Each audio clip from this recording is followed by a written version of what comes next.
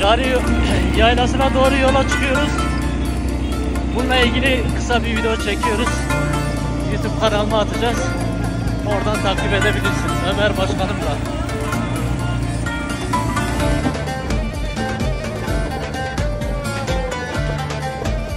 Şirmen Yaylası'ndayız. Burada da bir mola verdik. Ekmeğimizi burada bulduk. Sağ olsun ekmek verecekler.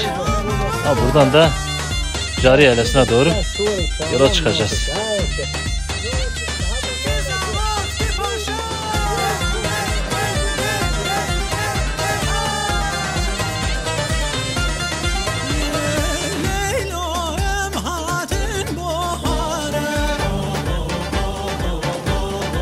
Evet Cari Yaylası'na ulaştık. 2500 rakımdayız. Şu an Çelikan'ın belki de Adıyaman'ın en yüksek bölgesindeyiz.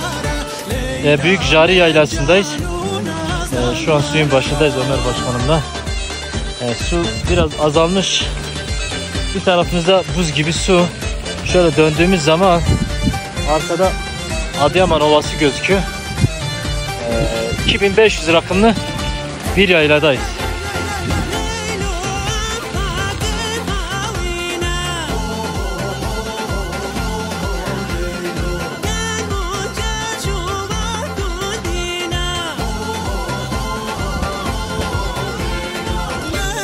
Jari Yaylası'na geldik.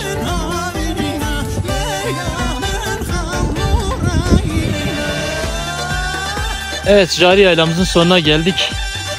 Şu an Ömer Başkanımla yayla dönüşü. Şöyle güzel bir gün batımıyla sonlandırdık. Ee, tamamını izlemek için YouTube kanalıma abone olabilirsiniz. En kısa zamanda e, oraya atacağım. Allah'a emanet.